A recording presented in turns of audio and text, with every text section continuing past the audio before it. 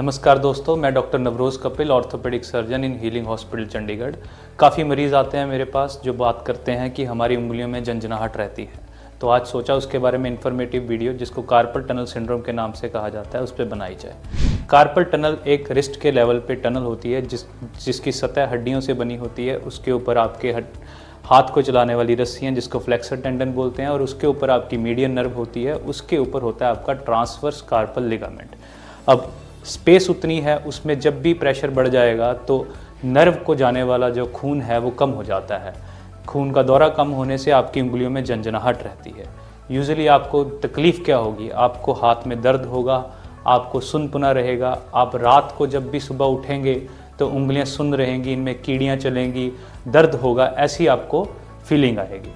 होता किन में है ये? यूजली ये 30 से 60 साल की महिलाओं में ज़्यादा देखा जाता है, दो से तीन गुना मेल से।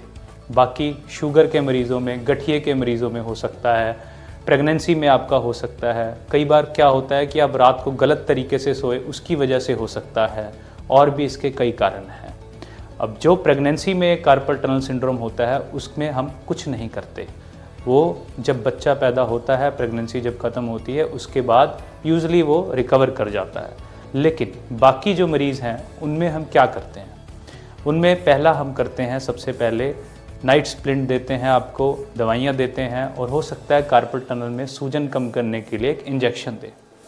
उससे मोस्टली लोगों को आराम आ जाता है, लेकिन पूरा आराम सिर्फ़ 10 परसेंट लोगों में ही पाया जाता है और ये रेकरेंस बहुत ज़्यादा होता है।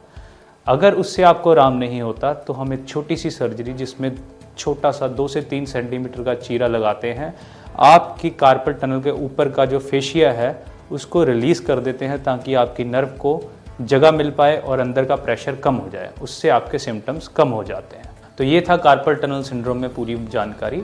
अगर आपको कोई भी और प्रश्न हो तो आप हमारे कमेंट सेक्शन में को कमेंट करके पूछ सकते हैं। अगर आपको फिर भी लगे तो आप हमें कभी भी कंसल्ट कर सकते हैं। Thank you